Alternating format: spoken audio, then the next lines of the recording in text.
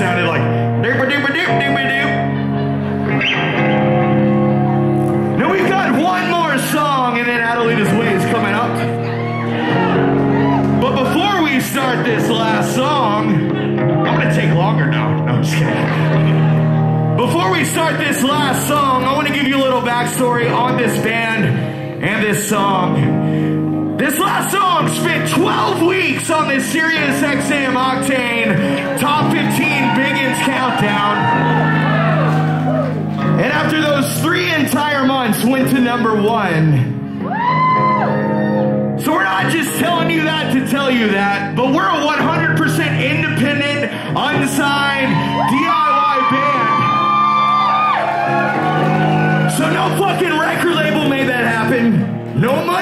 that happen. No luck made that happen. Just pure fucking hard work. So we're proud as shit of that. If you know the song Unbreakable, I want you singing it with me. This is our last one. Unbreakable!